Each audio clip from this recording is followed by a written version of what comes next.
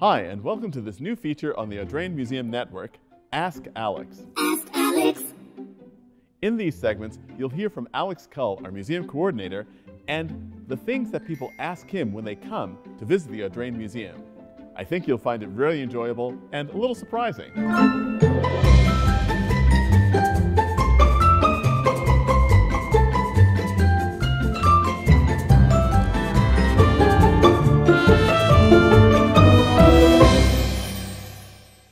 Hi, my name is Alex Cull, and I'm the museum coordinator here at the Audrain Automobile Museum, and I'm usually the first face you see when you walk into the museum.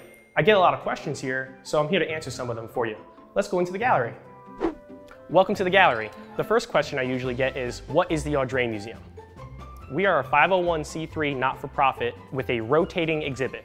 The main goal of the Audrain Automobile Museum is to preserve, celebrate, and share automotive history. And we do that with a series of exhibits, all with a very specific theme.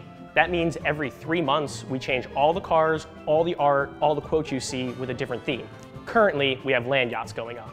10 years ago, the building was purchased by the current owners and restored to the state you see now. It was supposed to be office spaces and retail as originally intended, but they decided to make a car museum instead. Another question I get a lot was, who was Audrain, or where does the name come from?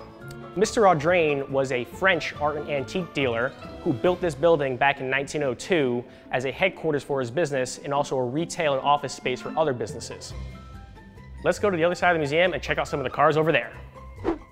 Another question I get is, who owns these cars? Are these Jay Leno's cars? No, they are not. But we are lent cars to fill out our exhibitions from the Audrain collections and from other museums and private owners around the world. But Jay's a close friend of the museum and he does a lot of videos with us and Donald. So we appreciate that, and he's much funnier than I am. Another question I get is, are there any cars upstairs? So there's no cars upstairs, there's just offices. Unless you want to do paperwork, you should stay down here. Now let's go over the other side and check out where the cars come into the museum.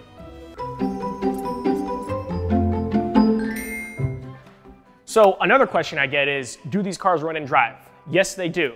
Some of them better than others, but we try to drive them as often as possible because that's good for the cars. And when we bring them into the museum, we bring them in right through here. Those doors open up and we have ramps that go down. Once we drive the cars up, we push them from there. Now, follow me this way. So, people ask me all the time, can I sit in the cars? Unfortunately, you can't, but you can get close enough to drool on them, but don't do that either. We got one more question for you. Let's go outside. So one of the questions I get all the time here is, where can I park? There's free two-hour parking on Bellevue and plenty of parking on the surrounding streets. During the busy season, you may have to walk for a little bit, but it's definitely worth it. Anyways, that's the first episode of Ask Alex. Thanks for watching. If you have any questions, leave them in the comments down below. Make sure to like and subscribe. See you on the next one.